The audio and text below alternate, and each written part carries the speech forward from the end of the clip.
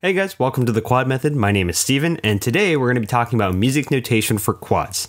I know up till now we've been talking a lot about uh, intermediate concepts for intermediate quad players, so we're going to start delving into some beginner concepts for those of you that are just starting out on quads. So let's go ahead and get started. First, we're going to start talking about which drums are on which notes. So, as you can see here, we have a six drum setup.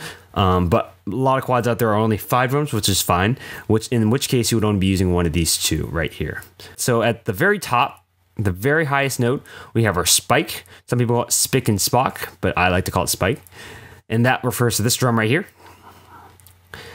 Our next drum is the spock. Some people call it spook, and that refers to this drum right here. On a lot of quads, uh, the this drum is actually going to be a little bit bigger on this than this drum. This is a six inch, but a lot of spocks are eight inch, which is a couple inches bigger than than this drum.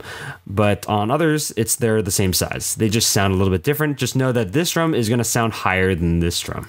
And then we got our main drums, which is what makes quads quads. We have our drums one, two, three, and four. Our drum one is this drum right here. Our drum two is this drum right here. Our drum three is over here and our drum four is over here.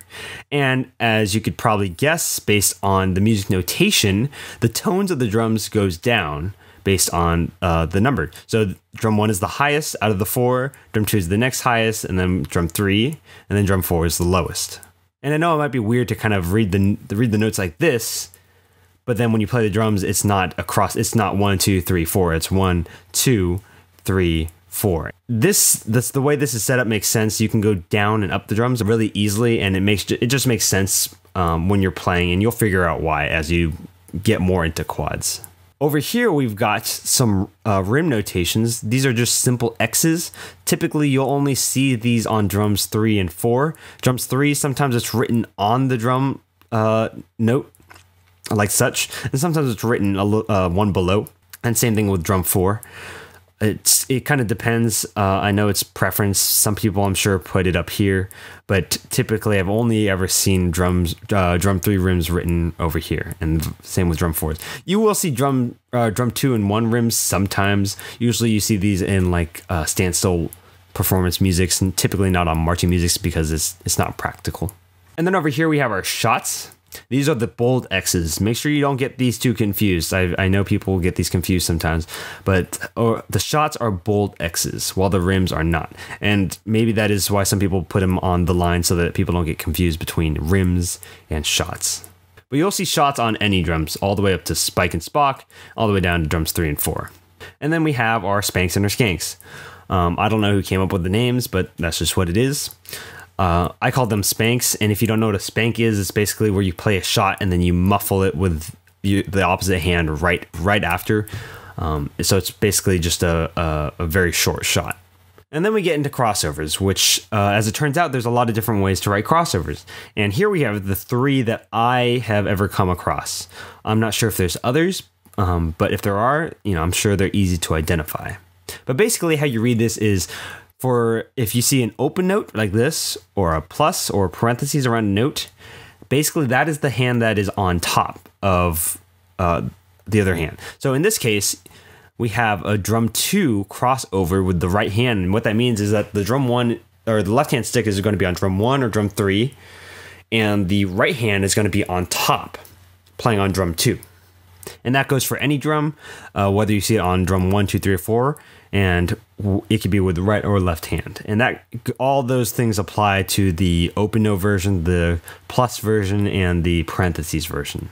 For double uh, double stops or uh, crossover double stops, um, I know it can be a little confusing sometimes when you're reading crossovers, but that's why I prefer the open note version because this is pretty easy to to read. So if you see this, um, regardless of what this says, the note that's open is the hand that's on top. So if you see uh, this type of crossover, that means your left hand will be on drum one and your right hand will be on top playing on drum two, and you're going to play a double stop, just like that. And that same rule applies for the parentheses. So that as you can see, the parentheses are on drum two. And if the parentheses or the open note were on drum one, then you would it would be the opposite, where the left hand would be on top playing on drum one.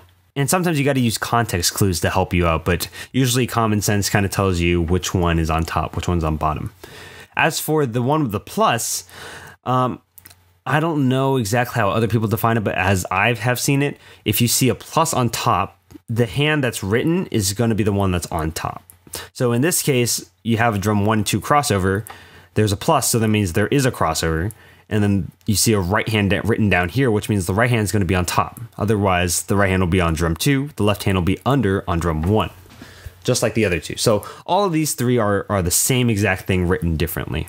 So I want to throw a couple examples at you. These don't have stickings, and this is one. Of, these are a couple very common phrases where you have to use context clues uh, to kind of help you out to help you figure out you know where the crossovers are and what the sticking is. So usually when there's no sticking written, it usually means natural sticking, which means right left right left, and that's what natural sticking means. So in this case, you have um, you're going from drum one all uh, most of the notes on drum two, one, two, two, four, two, two, and then you got a crossover. And just because of natural sticking, that crossover is going to be with your right hand on drum four. One, four, four, four.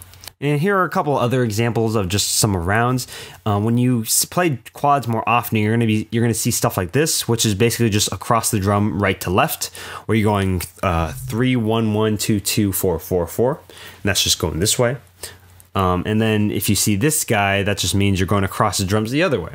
So as you see these more often and you play more of them, uh, you'll you'll get used to them. And then in future musics, when you see quad music written like this, you'll automatically know like, oh, that's what it is. And sometimes you'll even see diddles or flams written on top of these and then by then you'll already know exactly what the arounds are and that's how you get good at sight reading is recognizing the rhythm, recognizing the vocabulary, and then recognizing the around patterns. And here's another one. Um, if you see the notes going down tonally, uh, some I, I call these I call this down the drum. I don't know if other people do, but I call it down the drum. And then if it goes the other way, where it's four, three, two, one, I call it up the drums. Um, but that's tonal. So in this case, the arounds aren't going to be in one direction. You're going to be switching off one, two, three, four but tonally it, it sounds exactly as it looks like this. Cool. Well, I hope that helps you guys. Um, those are the basic notations for quad music. I think I covered everything. I, there might be some special cases in there. Um, if you have any questions, please leave them down below. Uh, if there's a specific piece of notation that you want us to answer, go ahead and message us on Instagram or Facebook, and we'll try to help you out with that. So, um, thanks for watching, and I'll see you in the next video.